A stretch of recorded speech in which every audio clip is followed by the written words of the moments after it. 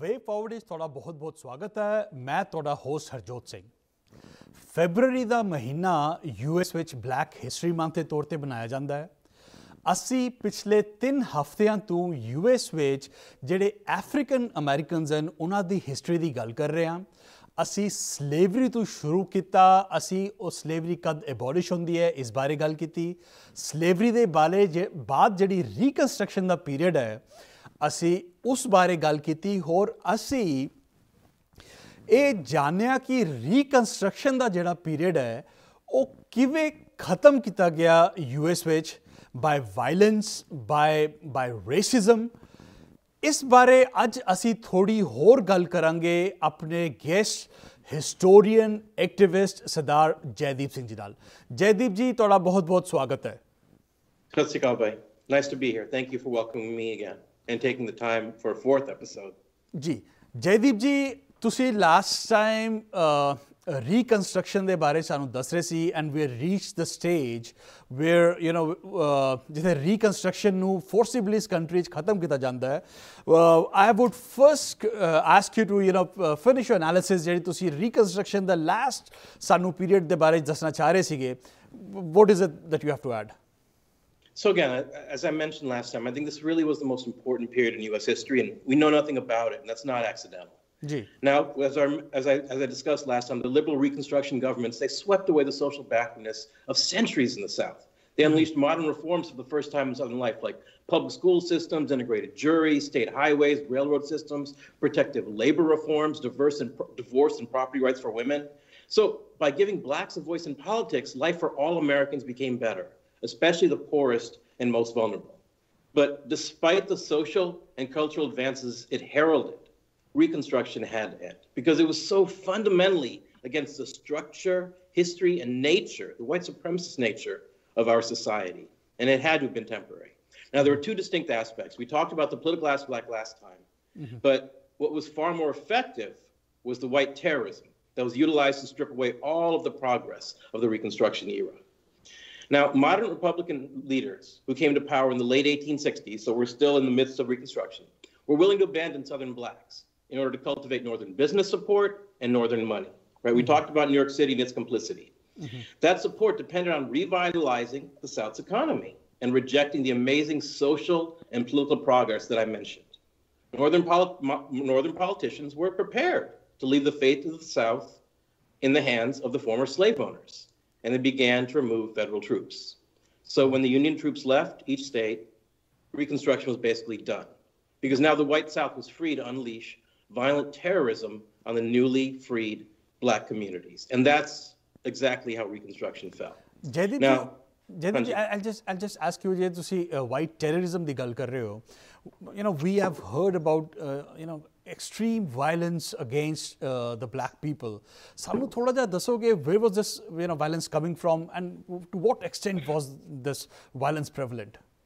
Absolutely. I think Reconstruction is the best example of this at, of, of any point post, you know, slavery.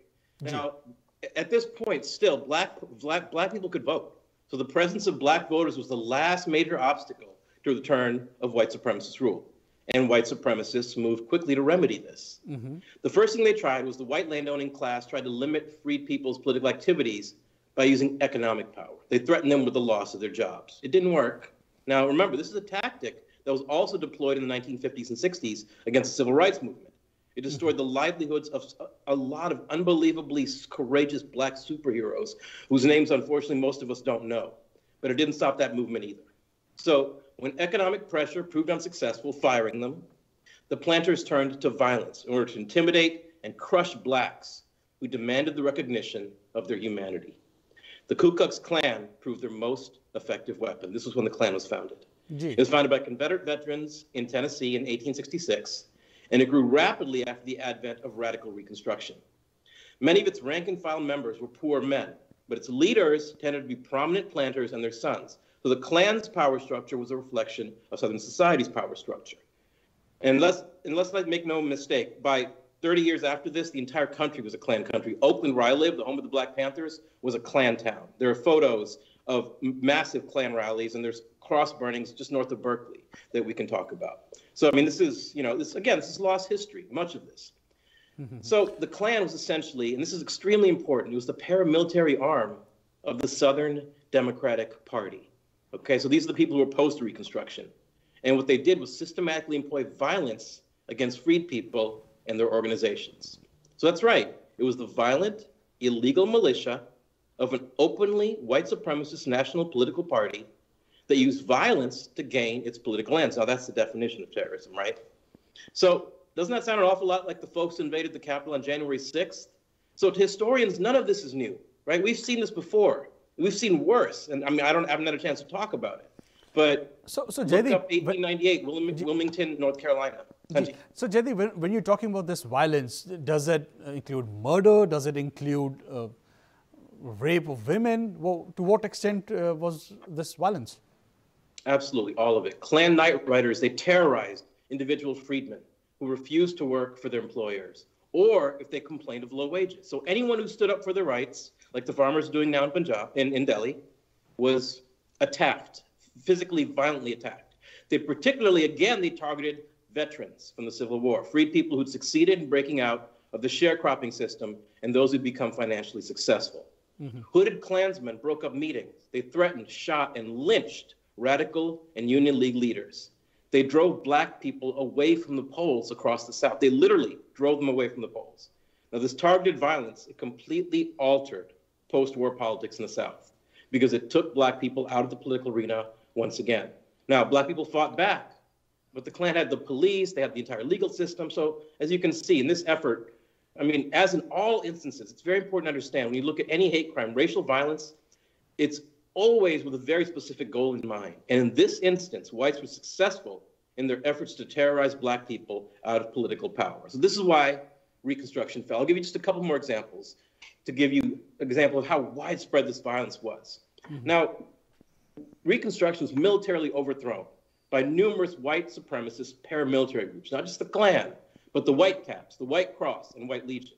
Town after town and in state after state, Reconstruction was broken and bloody killings, largely supported by white Southerners and ignored by white Northerners. In the 1868 elections in Louisiana, 2,000 African Americans were thought to have been killed or wounded, with many more fleeing the state.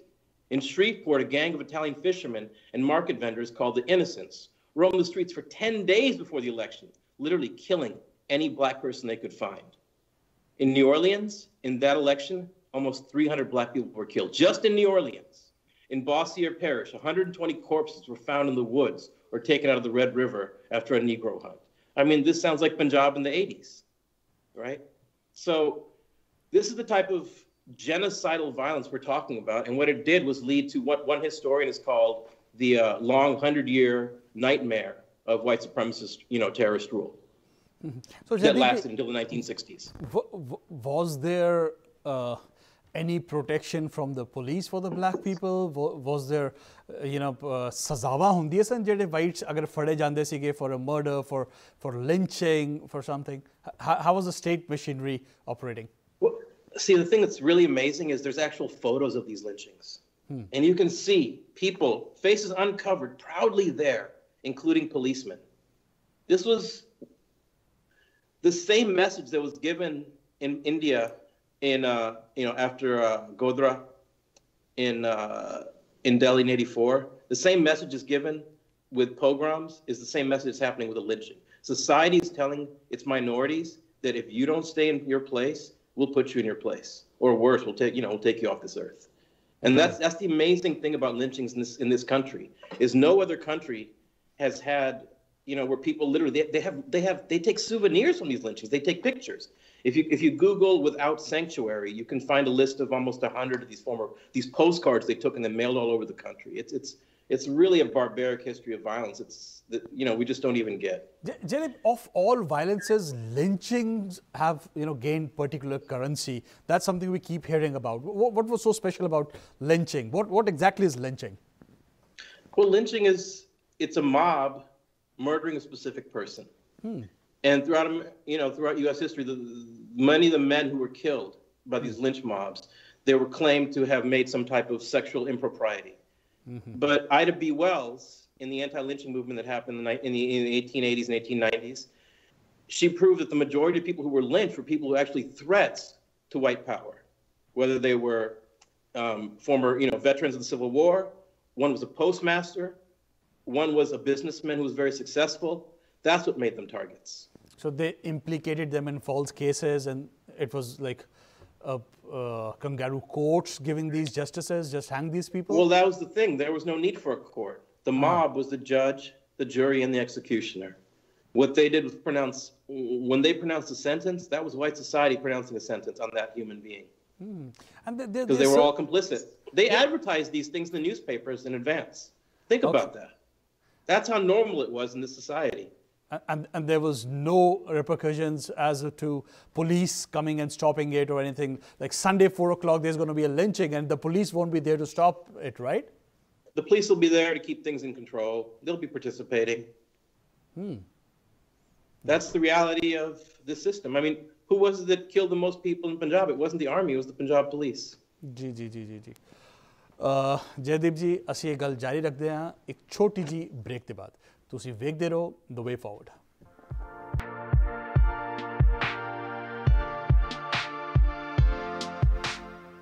The way forward ਇਸ ਤੁਹਾਡਾ ਫਿਰ ਤੋਂ ਸਵਾਗਤ ਹੈ ਮੈਂ ਤੁਹਾਡਾ host Harjot Singh ਅੱਜ ਅਸੀਂ ਗੱਲ ਕਰ ਰਹੇ ਹਾਂ ਯੂ ਐਸ ਵਿੱਚ ਬਲੈਕ ਹਿਸਟਰੀ ਦੀ ਅਸੀਂ ਰੀਕਨਸਟਰਕਸ਼ਨ ਦੇ ਪੀਰੀਅਡ ਦੀ ਗੱਲ ਖਤਮ ਕੀਤੀ ਹੈ ਔਰ ਅਸੀਂ ਹੁਣ ਇੱਕ ਪੀਰੀਅਡ ਚ ਐਂਟਰ ਕਰ ਰਹੇ ਹਾਂ ਜਿਸ ਨੂੰ ਯੂ ਐਸ ਵਿੱਚ ਜਿਮ ਕ੍ਰੋ ਐਰਾ ਕਿਹਾ ਗਿਆ ਹੈ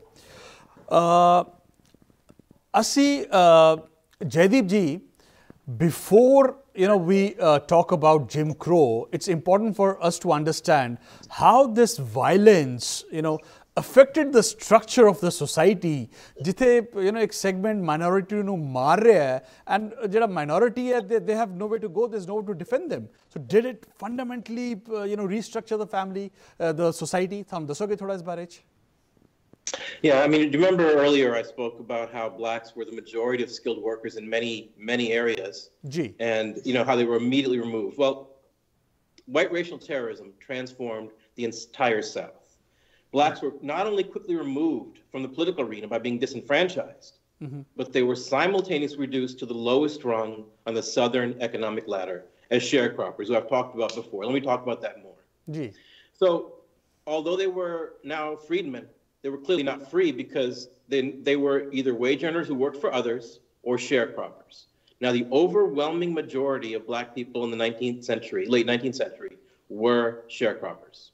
Since 90% of blacks lived in the South and 80% lived in rural areas, the system touched the overwhelming majority. This is who we're talking about. Mm-hmm. Now, in large plantation areas across the South, families, most of them black, sharecrop by renting small plots of land, which they worked, giving landowners a huge share of the crop at harvest. Now, the land belonged to the master and extended the dependency, the cycle of dependency and degradation. Remember the quote I gave you of how they said they had to have their own bale, their own land and their own bale of cotton with their own mark? That's clearly not what was happening here. They're working someone else's land, and that was mm-hmm. mostly someone else's cotton. So this is just an extension of keeping them, if not enslaved, then at least ensnared. Gee. So the white landowners retain the ultimate power of ownership of every aspect of the process. They mm-hmm. supply the sharecroppers with tools, fertilizer, seed, and land. In the end, they took most of the crop. To mm-hmm. make matters worse, the crop, the sharecropper had to buy goods from the planter stores, where of course the price was inflated. Now, the sharecropping family was trapped in a vicious economic cycle from which they had no escape because they barely made enough to survive mm-hmm. season to season. Mm. So they were legally flee- free, but economically dependent and thus socially oppressed. Mm-hmm. So, um, some sharecroppers actually also had to live with the literal ghosts of slavery because many white planters they still maintained a system of armed riders who monitored and disciplined black workers who got out of line. So even long after just you know re- reconstruction had fallen. It's not like the the violence against black people ended. It was mm-hmm. always there and it was certainly there during the 50s and 60s when many civil rights activists were murdered for doing exactly you know trying to trying to vote. So so jaideep ji we understand uh, ਹੁਣ ਇਸ ਵੇਲੇ ਉਹ free ਹੋ ਗਏ uh, initially they started you know uh, getting involved uh, with the government as well but by design ਇਹਨਾਂ ਨੂੰ government ਤੋਂ ਦੂਰ ਰੱਖਿਆ ਗਿਆ and uh, by design ਇਹਨਾਂ ਨੂੰ you know ਜਿਹੜੇ ਬੜੇ profitable businesses ਸੀਗੇ ਉਹਨਾਂ ਵਿੱਚ ਨਹੀਂ enter ਕਰਨ ਦਿੱਤਾ ਗਿਆ and you know this process like uh, sharecropping so they were excuse me uh, economically ਉਹਨਾਂ ਨੂੰ weak ਕੀਤਾ ਗਿਆ so this lays the path for Jim Crow Absolutely. I mean, and you got to understand these people did everything they could you know, I mean, there's this crazy racist stereotype that black people are lazy. These people were not only farming, but they did anything they could to make more money. Men worked on other farms while also tending their own fields. Women sold chicken, eggs, milk, cheese, vegetables. But still, their poverty was incredibly, I mean, it was incredible. Most black sharecropping women had only, they kept house with a straw broom, a laundry tub, a cooking kettle, and a water pail. That's the type of poverty we're talking about. So by the end of the 19th century, the possibility of progress for blacks was distressingly remote. Racial borders had been reinforced by class and caste. Black farmers were sharecroppers or tenants working a white man's land with a white man's plow and a white man's mule. Every colored man will be a slave and feel himself a slave, a black soldier had warned during the Civil War, until he can raise his own bale of cotton and put his own mark upon it and say, This is mine. By this measure of freedom, black people were still slaves. So during the 1890s, new laws buttressed segregation by defining more precisely the place of black people in society on trains, in streetcars, in schools, parks, theaters, hotels, hospitals. Black people were excluded. Proclaiming the doctrine of separate but equal, in the 1896 ruling of Plessy versus Ferguson, the Supreme Court upheld the constitutionality of segregation. Now, it took the Supreme Court 58 years to admit that separate is inherently equal. But of course, all black people knew this. This was just a lie that white people told themselves and expect everyone else to buy into. Mm-hmm. So uh, at this time, in addition to these type of laws that really, really harden the, the, the, the, the racial barrier between black and white, you know, this, this hard line of race, there were poll taxes and literacy requirements for people to become um, voters that based, and there's something called the grandfather clause that if your grandfather was a slave, you couldn't vote. There's all these various ways being devised to keep black people from voting. And it's described by, by one historian as the nadir, the low point in African American history. So even worse than slavery. So from the vantage point of 1900, after the experiment in interracial democracy during Reconstruction failed, it seemed the white South in some ways had actually won the Civil War. Racism pervaded the nation, and sharecropping, disenfranchisement, lynching, and other elements of Jim Crow severely prescribed any type of freedom for black people.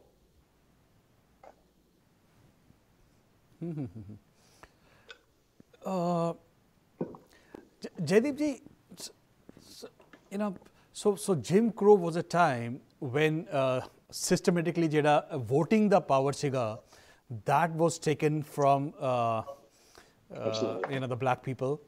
Uh, you're saying ਕਿ ਉਹਨਾਂ ਨੂੰ society ਵਿੱਚ separate ਕੀਤਾ ਗਿਆ ਇਸ ਦੇ ਵਿੱਚ ਇੱਕ ਬੜਾ ਜਿਹੜਾ ਇੰਪੋਰਟੈਂਟ ਸੈਪਰੇਟ ਕਰਨ ਵਿੱਚ aspect what they systematically kept away from uh, you know mainstream societies from the white people? Every city in this country G. is segregated racially. Every school in this country is racially segregated. That's the legacy of this period mm-hmm. it still hasn't changed just go to the any. I mean, th- th- that's the one thing you, you go to these all these cities and you look at where black people live and where white people. There's a, there's a great map that was just issued by the New York Times, Gee. and it was laid over what parts of people in Los Angeles died the most from coronavirus. Mm-hmm. And of course, it was South and East Los Angeles where African Americans and black people. I'm sorry, where, where blacks and Mexicans live. But Jaideep uh, th- there were things like redlining, which, which, which was like more institutional at that time before the passing of the Civil Rights Act. I, is that right to say?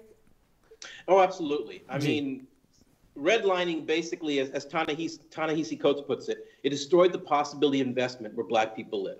Hmm. So what you're talking about is a little bit later, around the 1930s. This is definitely right in the middle of Jim Crow because it's again from like 1890s to around 1966, 65. Gee. And so the, in 18, 1934, the Federal Housing Administration was created. Mm-hmm. And it promoted residential segregation by shunning investment in areas where people of color lived and by placing so called restrictive covenants on, on the deeds of, of, of houses to keep middle class neighborhoods white. And those deeds are visible in throughout. I mean, I've had students show me these deeds um, in, in, the past from their own house or their family's houses. Mm-hmm. And these deeds are still part of the, the law, even though people of color live in some of these places now. So this is institutional racism in which there is no hiding and there is no real recourse. And so I think that's something that's very hard for Sikhs to deal with because they haven't had to deal with it to that extent. Mm-hmm. And because they've also, most, most South Asians who've come here have come in a very advantaged position economically and educationally. They have far, far more education than the average American, at least those who came from the 1960s to 1980s. That has changed in the last 40 years. But again, I think that is one of the things that really, because the thing is, the American state, the US state decided which South Asians were going to get in this country. They decided people with very specific degrees, right? There's the so-called fifth preference. It indicates, it lays out all the things, you know, well, there's five, there's five preferences, and that fifth preference was people who can help develop the United States economically. And that's what people from South Asia have certainly done over the past uh, half century. Gee, G, G, G. Uh, it, oh, you know, I didn't. So, FHA. So, the other thing I forgot to mention is the main source of wealth in this country for most people is their home. In the 1940s and 50s, especially after World War II, the FHA gave loans to the majority of Americans who got, bought houses in that time period. But it only gave loans to white people.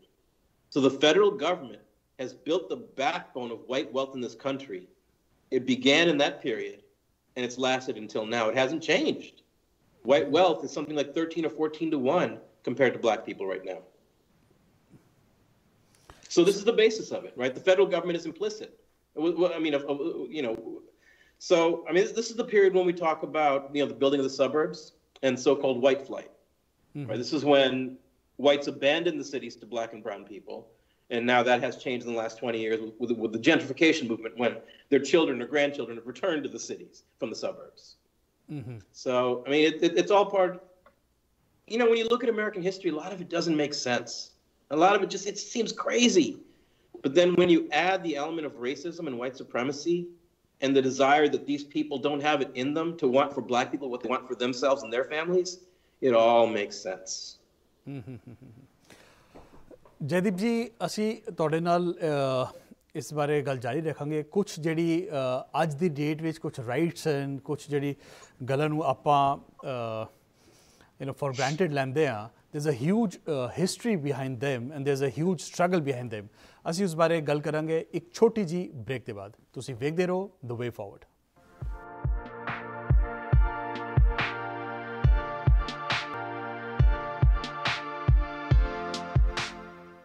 The way forward ਇਸ ਤੁਹਾਡਾ ਫਿਰ ਤੋਂ ਸਵਾਗਤ ਹੈ ਮੈਂ ਤੁਹਾਡਾ host Harjot Singh Jaideep ਜੀ ਕੁਝ ਟਰੂਥਸ ਹੈਗੇ ਕੁਝ ਇਦਾਂ ਦੀ ਸਿਚੁਏਸ਼ਨਸ ਹੈਗੀਆਂ ਜੋ ਹਲੀ ਵੀ ਐਗਜ਼ਿਸਟ ਕਰਦੀਆਂ but you know before the Civil Rights Act of 1964 and Voting Rights uh, Act of 1965 ਉਸ ਤੋਂ ਪਹਿਲਾਂ ਉਹ ਜ਼ਿਆਦਾ ਚੀਜ਼ਾਂ ਇੰਸਟੀਟਿਊਸ਼ਨਲ ਸੀਗੀਆਂ ਲਾਈਕ ਅੱਜ ਦੀ ਡੇਟ ਵਿੱਚ ਅਸੀਂ ਇਹ ਕਿਸੇ ਡੀਡ ਤੇ ਲਿਖਿਆ ਹੋਇਆ ਨਹੀਂ ਵੇਖਦੇ ਕਿ you can't cell this house to a black person but there was a time when it was uh, legal to write that, right? Even, even President Trump, his dad's his dad was sued for that purpose. Even uh, President Trump was his company was sued at, at one time because they would write that on their properties.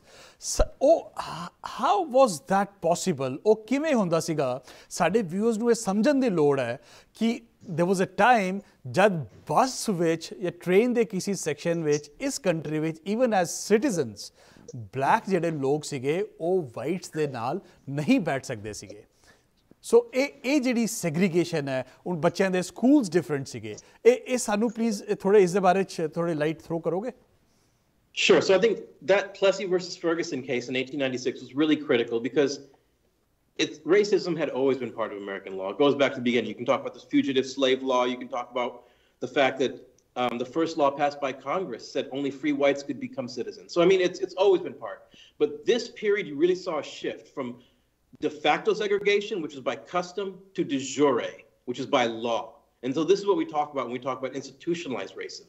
Mm-hmm. So basically, if I let me just talk about the case in, in, uh, in New Orleans really quickly. So black people with the financial resources to go to court, Creoles of color, they launched numerous legal challenges against this trend of segregation. Now, the most important reached the Supreme Court. Homer Plessy who refused to sit in a segregated railroad car in New Orleans, took his case to the Supreme Court in 1896. In Plessy versus Ferguson, the justices affirmed segregation. They upheld the Louisiana statute that mandated separate railroad cars for white and black passengers. The majority declared legislation is powerless to eradicate racial instincts, right? And so they enshrined in law the position that separate but equal facilities were constitutional, were legal. Now, of course, these things were never equal, right? Black people always suffered. They, but you know, the thing, there, there was one interesting thing. There was one courageous justice who dissented. His name was John Marshall Harlan. He's an important person because simply because of the fact that he had the courage to say things like this. He said, The thin guise of equal accommodations will not mislead anyone or atone for the wrong this day done. So, like I said, this lasted for 58 years until the passage of the uh, um, Brown versus, to the, the decision of Brown versus the Board of Education. So the Plessy decision opened the way for more restrictive racial legislation. It cemented the imposition of Jim Crow laws, a system of radical discrimination, segregation of public facilities, and political disenfranchisement that was enforced with terror and violence beginning in the 1890s. Jaideep, I want to ask you. You know, uh, right, from uh, the beginning, when you started uh, slavery di or slavery di abolition, di, uh, you said it was the Republican Party which was always doing the right thing. And ਹੁਣ ਜਿਹੜੀ understanding ਹੈ ਸਾਡੀ at least ਇਸ racial ਨੂੰ ਲੈ ਕੇ you نو the role of Democratic Party and Republican Party it seems to B reverse so is there some misrepresentation here or uh, the roles reversed at some stage in history? When it came to white, when it comes to white supremacy, Gee. the parties basically switched sides around because of the civil rights bills. Hmm. And as a result of that, people in the South stopped voting for the people who um, brought about these bills. And for a long time, uh, I mean, I think if you really want to understand it, I mean, I don't have time to get into it now, but you, you, you can Google the Southern strategy. Mm-hmm. The Southern strategy was, was a strategy used by Republicans to make the South reliably um, Republican after switching it from reliably Democratic to reliably um, Republican. Mm-hmm. And that's exactly what's happened. And I mean, if you look up that strategy, it, it, it's all based on race.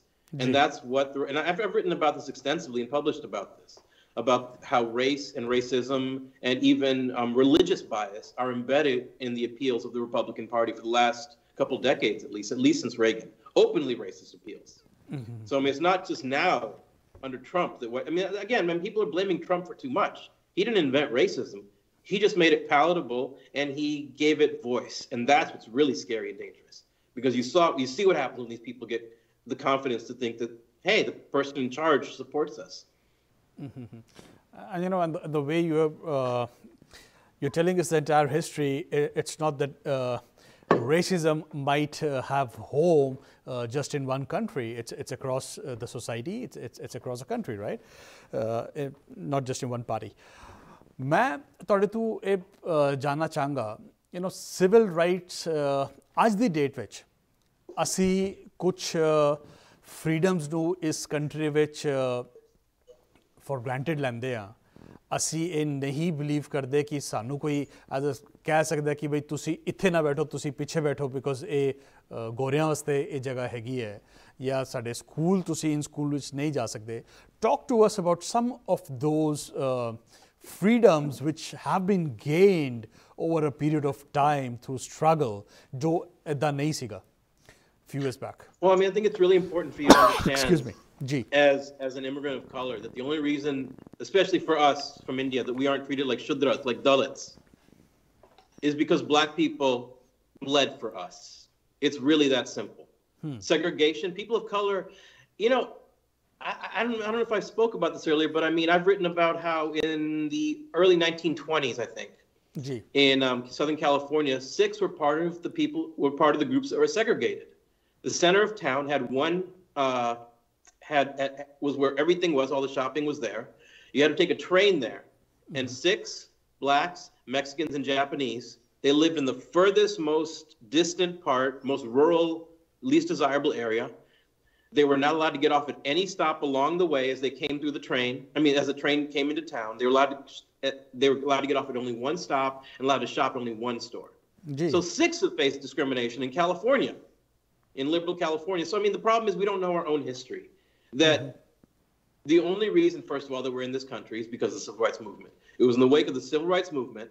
So starting in 1907, South Asians were banned from migrating to the United States because of an executive order by President Theodore Roosevelt. Hmm. That was later added to by the 1914 Immigration Act, the 1917 Immigration Act, and the 1924 Immigration Acts, which essentially barred all migration from South Asia until 1943. And even then, we'd got, you know, like 10, 20 people a year until 1965. So basically, 1907 and 1965, we weren't allowed to come here. Gee. That changed. It didn't change magically. It changed because of the political climate of the United States. And that was forced by African Americans risking their lives to make America live up to the, the ideals that it has in its founding in its founding documents. G G G G G. And we're the beneficiaries of that. So we owe African Americans an incredible amount, all of us, for even being in this country, for the big houses and the fancy cars and the fancy degrees that we have. We wouldn't be in this country if African Americans hadn't bled and marched and died. Gee. You know, that is something which uh, we, we want the community to understand. Even AJD, I just say AJD, uh, employment ਤੇ discrimination ਪੱਗ ਵਸਤਿਆਪਾ ਲੜਨ ਦਾ ਸਾਨੂੰ ਹੱਕ ਮਿਲਦਾ ਹੈ you know all those things they they come out of uh, these civil... laws those discriminatory protections they come from black people There are a few cases as well from Asian Americans. Asian Americans have also taken cases to the Supreme Court from the 1800s on. So mm-hmm. I don't want to sell that short at all, including Bhagat Singh Thind, who sued for citizenship in mm-hmm. 1913 or 17. I think it was 13. So I mean, you know, Sikhs have also gone to the Supreme Court to fight for citizenship. G. Over 100 years ago.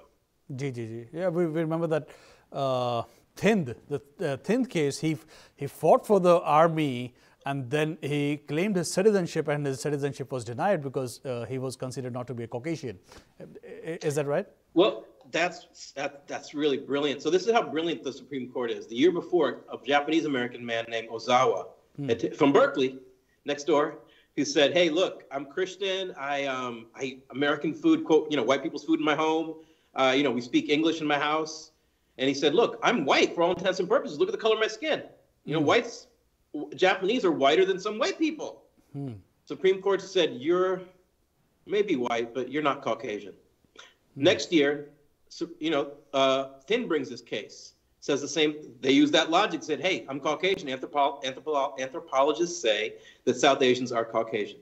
Hmm. Supreme Court says, "Okay, you may be Caucasian, but in the eyes of the common man, you're not white." That's actually in the document. I make my students read that Supreme Court case because since when does the Supreme Court care what the common man thinks? I mean, certainly not after election 2000. So, I mean, it, it's really an amazing moment, the, the, the mental gymnastics that the Supreme Court does to police the borders of whiteness and to uphold white supremacy. Mm-hmm. And that's our history. That's exactly what our history is, but we don't know it. Gee, gee, gee. You know, uh, the whole idea of having uh, this conversation for the last uh, four weeks was, you know, आज दी date etch आप अगर we do see uh, blacks, uh, you know, in, in not very, very good, uh, you know, economic or other conditions. Uh, what we are trying to understand and make our community understand is that there are historical reasons for that. Or JD, discrimination, it, it, it has resulted into something. Or math or declu, us bare ek specifically uh, kuch uh, you know questions there answer changa or apa gal karte hain ek choti ji break de baad ਤੁਸੀਂ ਵੇਖਦੇ ਰਹੋ the way forward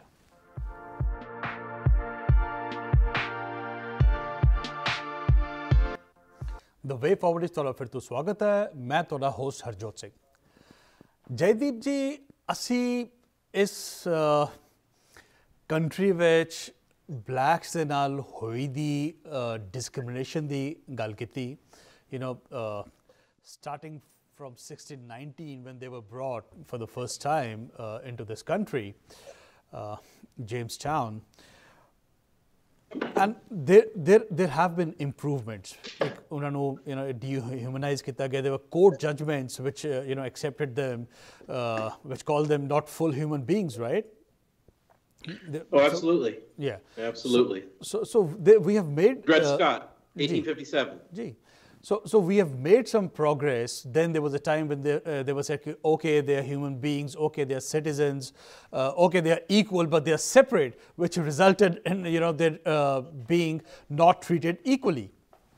फिर developments होइयां you know the civil rights movement होई जिस दे बाद काफ़ी हक जेह्ड़े न वोट पांदे भी और ਦੂਜੇ ਹੱਕ ਵੀ ਜਿਹੜੇ ਅਗੇਂਸਟ ਡਿਸਕ੍ਰਿਮੀਨੇਸ਼ਨ ਇਹਨਾਂ ਨੂੰ ਮਿਲੇ ਜਿਸ ਦੀ ਵਜ੍ਹਾ ਨਾਲ ਅਸੀਂ ਵੀ ਬੈਨੀਫਿਟ ਕਰਦੇ ਆ ਅਸੀਂ ਰਿਪੀਟਿਡਲੀ ਇਹ ਗੱਲ ਕਹਿਣ ਦੀ ਕੋਸ਼ਿਸ਼ ਕਰ ਰਹੇ ਆ ਸਾਡੀ ਕਮਿਊਨਿਟੀ ਨੂੰ ਸਮਝਣ ਦੀ ਲੋੜ ਹੈ ਕਿ ਜਿਹੜੇ ਰਾਈਟਸ ਅੱਜ ਅਸੀਂ ਇੰਜੋਏ ਕਰਦੇ ਆ ਉਸ ਦੇ ਪਿੱਛੇ in in African American in black communities ਦਾ ਲਹੂ, ਮਿਹਨਤ ਯੂ نو ਇਹਨਾਂ ਦੀ ਸਟਰਗਲ ਹੈਗੀ ਹੈ, ਅਸੀਂ ਉਸ ਦੇ ਬੈਨੀਫਿਟਸ ਚੱਕਨ ਔਰ ਉਸ ਸਾਰੀ ਹਿਸਟਰੀ ਨੂੰ ਓਵਰਲੁੱਕ ਕਰਨਾ, ਔਰ ਜਸਟ ਜਜਮੈਂਟਸ ਪਾਸ ਕਰਨਾ ਇੱਕ impression, ਇੱਕ perception blacks ਦਾ ਕ੍ਰੀਏਟ ਕੀਤਾ ਜਾਂਦਾ ਇਸ country ਵਿੱਚ ਕਿ they, don't want to work. They want to live on welfare. You know, even President Reagan created a you know a fictional character, the the welfare queen in Chicago, who had 60 security uh, social security numbers, which you know never which was never proved. Is the key uh, you know, uh, Sanu, Sanu Dasso, uh, are, are blacks the primary uh, beneficiaries of these welfare schemes in this country? You know, it's it's amazing how Reagan was able to what we call racialize, right, embed with racial meaning the welfare system. G. Because first of all, it's a minuscule part of our GDP. It's less than one percent, and like half of, you know, more than half of what our, of what we of government spending is is, is military. Gee. So I mean, to go after that is insane. Secondly, whites are the vast majority of the American population. They always have been. They're still far in excess of 65%. So, and throughout American history, it's mostly 80% or more. Mm-hmm. So, whites have always been the major recipients of so-called, you know, welfare, which is aid to families with dependent children. Now it's called WIC. You know, there are other names, but whites have always been the majority because they're the vast majority of the population. So this goes back to something I talked about, I think, a few weeks back when I talked about, you know, go back to 2007, and it was mm. during the debates about healthcare. You know, the town halls. Is a town hall where uh, John McCain was holding a town hall, and some woman said, you know, we want our country back. We're talking about healthcare. What are you talking about? Because healthcare, like everything else, is about race. Mm-hmm. There's a large majority of, it seems, of whites who would rather not every no one have health care than to have blacks undeservingly have well have welfare. And so this is the type of mentality that we have in this country that's kept us from ever having a, a true, powerful union movement because the working class has always been divided by racism. Hmm. Sorry. Interesting. Uh, you know, uh, uh, when somebody comes and makes this argument, uh, you know, there, there was an opposition to uh, the, the Civil Rights Act as well.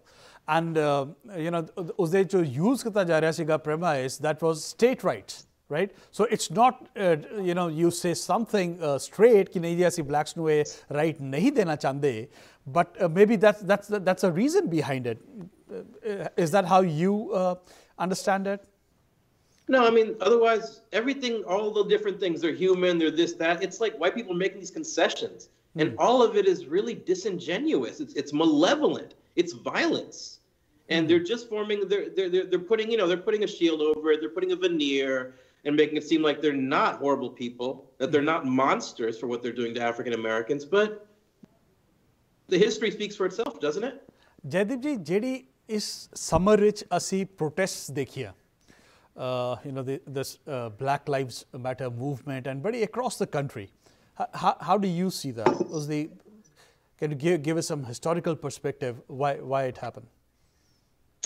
Well, if you know anything about U.S. history, you know that African Americans have revolted again and again because of police violence. It happened in the 1910s, 1919, and it happened in many cities in the 1960s.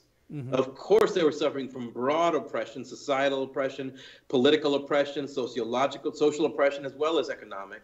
Mm-hmm. But what set off these sometimes weeks long, you know, rebellions, and I won't call them riots, in places like Watts in Cleveland, in Cincinnati, they're happening again. They've been happening the last couple of years in Cincinnati, is police violence. Mm-hmm. And you've seen it again and again throughout this country. And yet there are people who are so, and this is exactly what it is, they're so defined by white supremacy that they see these incidents as isolated incidents. And mm. there's no bigger marker of being a racist than that.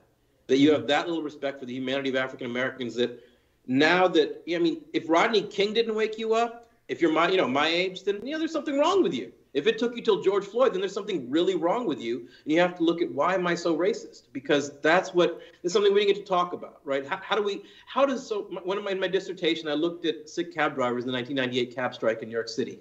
Mm-hmm. But one of the things I had to deal with was when I was dealing with the cab strike organizers was the anti-blackness in the cab driver community.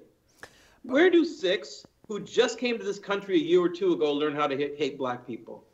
Where do they learn those, you know, stereotypes, and where do they get those notions? So I mean, it's it's not like it's nowhere; it's everywhere. You but but, I mean? but Jadiji, let, let me ask you this. You know, let me, let me challenge you a little. But and I'm sure there are historical reasons for that. But the way it is now, now those tech cab drivers, they were not reading some very uh, fine historical documents or you know uh, some books written by these people they, they, had everyday experience. Now we have you know i'm, I'm an immigration uh, attorney. I, I, get these clients who who are working in, in gas stations gas station owners and all that. They tell us these stories. You know out of 10 uh, attackers 9 are blacks we, we need to understand why that situation is, but is, not that a reality? But we also need to understand why it is that what is the sociological reality and historical reality that makes nine of those 10 people of, of one particular race. Hmm. Because if you don't, then you're subscribing to racism. And Gee. that, unfortunately, is the reality for most Sikh immigrants. And I'm not talking about people who drive cabs. I'm not talking about people who work in gas stations. I'm talking about Sikh doctors, Sikh, you know, Sikh uh, professionals. Gee. So this is, but the reality is that's what and we didn't have time to talk about this, but there's the notion of hegemony, in which one notion of how society is is transmute is basically transposed throughout society by this amazing scholar Italian named Gramsci. And we didn't have a chance to really talk about him much. I think we might have basically, you know, briefly talked about it. Mm-hmm. But this is this is how these notions get transferred through all of society. Look mm-hmm. at the way Sikhs are portrayed in Bollywood. It mm-hmm. Affects the way Sikhs are viewed by all of Hindu India. Look at the way black people have been portrayed in Hollywood film for the last 90 years. And we still have, 90 years later, we still have an Oscar so white campaign going on. Right? So, I mean, these are ways in which racism is, tra- is transferred to people's brains. And I mean, we didn't really have time to talk about this. It's kind of a different topic. It's a whole other field of racism we can get into and spend a few months on.